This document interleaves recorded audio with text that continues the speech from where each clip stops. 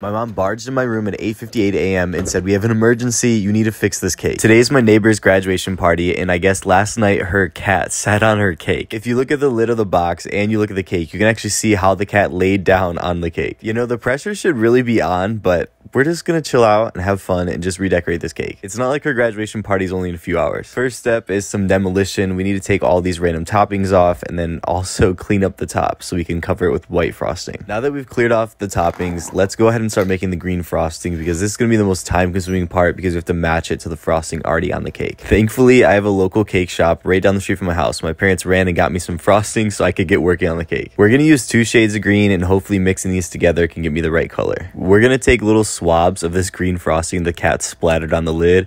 We're just going to compare those to the frosting every once in a while and make sure we get the right color. This is pretty close, but it's just not close enough yet for me. So we're going to play around with this a little bit longer and see if I can get this to work. I heard this thing on YouTube that if you go ahead and microwave some of the frosting and then mix it in, it makes the color a lot darker and you don't actually need to use as much food coloring. So let's go ahead and try that because I'm getting a little frustrated because this is not matching up at all. I feel like we started really close and now I'm just getting farther and farther away with each one. I honestly vaguely remember how to do this. I just saw it in a video a long time ago, so hopefully I don't screw up the frosting by doing this. But you're supposed to microwave it until it becomes a liquid, then you mix it all up. I thought I didn't microwave it long enough until I started mixing it and realized that uh, it's all goo in the bottom. Not only did this work, but it made it way too dark. So I had to restart with a brand new batch, and then I mixed that up and then put it in the fridge so it can get hard. While that green is hardening up, let's go ahead and start filling up a bag so we can cover the top with white frosting again. Can we just take a moment to think about the fact that cats are just savages and they don't care and just do whatever they want? Like this cat sat on a box that had a cake in it. I wonder how it played out. Like how long did this cat lay on this cake? Do you see this? Do you see these scissors? Why why is this why is this so hard?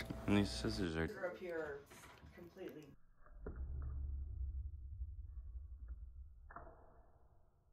There we go. That's the satisfying shot that I was trying to make. All right, so the goal is we're going to pipe on this white frosting all over the top where the cat sat and then we're gonna smooth that all out and hopefully it looks like nothing ever happened. Oh yeah, super important step that I completely forgot. If there's any colors, you wanna make sure you take those off because when we smooth it out later, the colors will smear into the white and then it'll be green and white. And we don't want that. We're just gonna fill in all of the top with that white. It's okay if there's a little bit of cracks because you're just gonna smooth it out. Now that we filled out the whole cat crime scene outline, it's time to go ahead and smooth this all out. I'm using an offset spatula. That just makes it a lot easier so you don't get your knuckles on the cake. We're not trying to destroy this any more than the cat already did. There's some tricky spots that I couldn't quite get with my spatula, so I just got this giant knife. It has a nice pointy end that could get inside little nooks and crannies. Also, the sharp end made it really nice to smooth with. Now that we made the top nice and flat, it's time to check in the green frosting. It's still not quite the right color, so I add a little bit of red to it, and I'm just gonna call this good enough. So let's get this piping bag ready. We're gonna get our piping bag, then our little coupler. You're gonna tuck that in the inside. It's easier just put on your finger and do it like this. Once that's on the inside, we're gonna go ahead and put our tip on it, and then tuck that on there, and then we're gonna put our other half of the coupler and then screw that on. I'm doing this so that I can do the border but then also change the tip over there on the left so that I can write on it later. Then to fill our piping bag, I usually just put on my hand and then scoop it in and use my hand inside the bag to help it all get in there. Now it's time to twist it up and then we're gonna pipe it all out. Thankfully, this cake is pretty simple, so there's nothing crazy that I have to try to redo. If it was something crazy, you would have to redesign the whole thing because there's no way I could do some crazy design within the time frame that they gave me. Either way, my neighbors are very cool and they're gonna be happy with whatever I end up giving them. I mean, how bad can this cake be after what they gave me this morning?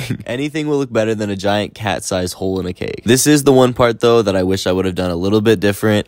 I was just too busy making the video, and when I was writing, I wrote it a little too small, in my opinion. And I'm sure you noticed it's also a little bit crooked, but my phone was two inches from my face, and I really couldn't see what I was doing besides looking through my phone. I know, I know, I could have been responsible, not made a video, and take my time and made it look better, but this is what I do. This is why my neighbors even knew to bring the cake to me. I make videos, and when I asked if I could make a video of this whole cake, they were more than happy to say yes. So not only did a disastrous moment like a cat laying on a cake on the day of your graduation party turn into a fun story and opportunity for me to make a cool video, but it turned into a fun way for me to share Maddie's graduation with you. Maddie is seriously so kind and I hope you'll come into the comments with me and congratulate her on her success. And when you do that, throw out today's emoji, which is the graduation cap girl. How do you think I did? Can you tell a cat laid on this? I mean, besides the lid, you can still tell the cat was on the lid. Let's also see what Maddie thinks. Wow, it doesn't have the cat imprint.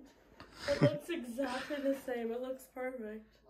Such a crazy morning. I definitely didn't expect it when.